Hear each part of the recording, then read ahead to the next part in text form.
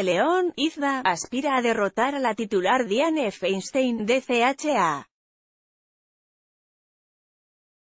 La mayoría de los líderes del Partido Demócrata de California votó el sábado para respaldar a Kevin de León para el Senado de los Estados Unidos por encima de la senadora titular Diane Feinstein, quien lleva 26 años en el cargo. De León, una voz más liberal y activista dentro del partido, recientemente se desempeñó como presidente pro tempore del Senado Estatal de California y actualmente representa partes de Los Ángeles. Feinstein, la principal demócrata en el Comité Judicial del Senado, busca su quinto mandato completo en el Senado. El joven de León obtuvo el 65% de los votos entre los miembros de la Junta Ejecutiva del partido, mientras que la veterana Feinstein recibió el 7% de los votos. Se necesita un 60% para que el partido respalde oficialmente a un candidato, con lo que De León ha ganado esta batalla, algo que necesitaba fervientemente. Entretanto, el 28% votó no aprobación, negando así el apoyo a ambos candidatos.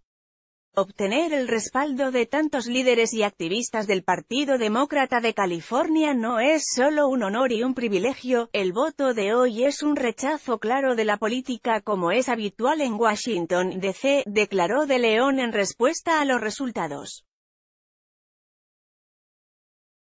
A través de años de progreso, hemos demostrado al mundo que California puede forjar un camino para el resto de la nación. El domingo, De León apuntó a Feinstein en CNN, ahora no es momento de complacencia o alguien que suplique paciencia y esperanza de que quizás con los dedos cruzados Donald Trump podría aprender y convertirse en un buen presidente en el futuro. En su opinión, los californianos necesitan alguien en primera línea que haga todo lo que esté en su poder para fomentar las políticas que mejoran la condición humana. A la senadora titular también se le negó el respaldo del Partido Demócrata de California en febrero cuando lo solicitó en la convención estatal.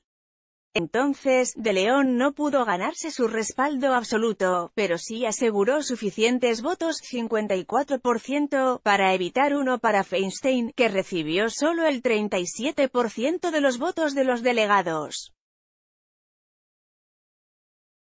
Sin embargo, el director de campaña de Feinstein, Jeff Millman, se muestra positivo, elogiando los resultados de las elecciones primarias demócratas de la senadora, mientras 217 delegados expresaron su punto de vista el sábado, la senadora Feinstein ganó por 2,1 millones de votos y obtuvo el 70% del voto demócrata en las elecciones primarias de California. Confiamos en que una gran mayoría de los demócratas de California vote para reelegir a la senadora Feinstein en noviembre. Sale libre restaurantero y activista detenido por ICE por órdenes. 16 de julio de 2018 Los mejores Smart CVs por menos de 500 dólares solo hoy por Prime Day 16 de julio de 2018 Cierra la puerta o nos matarán, cajera ayuda a salvar